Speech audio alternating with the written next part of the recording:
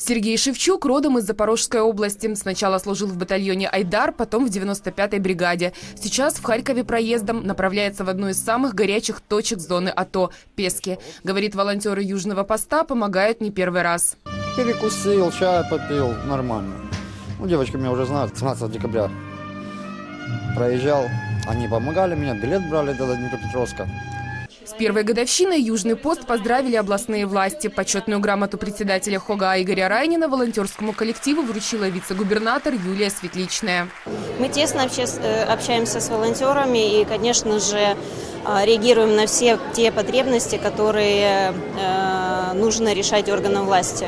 У областной государственной администрации есть целый волонтерский штаб, а также есть советники-волонтеры, которые приходят с всеми необходимыми вопросами, которые нужно решить. Мы помогаем и Южному посту, помогаем и другим волонтерским организациям по необходимости. В сутки на Южный пост приходит от 20 до 100 человек. Рекорд, рассказывают волонтеры, составляют почти 200 бойцов за день. Здесь военнослужащим оказывают юридическую информационную помощь, помогают решить банковские проблемы, подсказывают оптимальные маршруты перемещения по городу и просто морально поддерживают поэт чаем.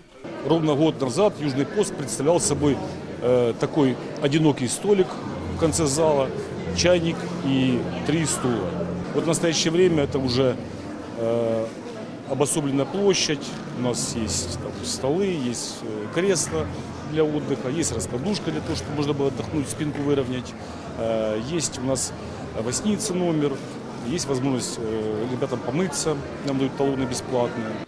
Южный пост, говорят волонтеры, не имеет госфинансирования и существует за счет добровольных пожертвований. Здесь всегда нужны чай, кофе, печенье и одноразовая посуда. Все это и даже домашнюю выпечку приносят неравнодушные харьковчане. За год, подсчитали в организации, денежный эквивалент такой помощи составил почти 70 тысяч гривен. И ребята, когда видят, что приходят простые люди и приносят что-то от себя, ну, конечно, для них это очень приятно. И что самое главное, вот я понимаю, что говорят, спасибо, вы изменили мнение о Харькове. Мы считали, что Харьков, в Харькове такого нет. Волонтеры Южного поста помогли открыть аналогичные пункты еще в пяти городах Украины. Сейчас такие организации работают в Одессе, Николаеве, Запорожье, Киеве и Днепропетровске. Надежда Тофан, Борис Буцевич, медиагруппа «Объектив».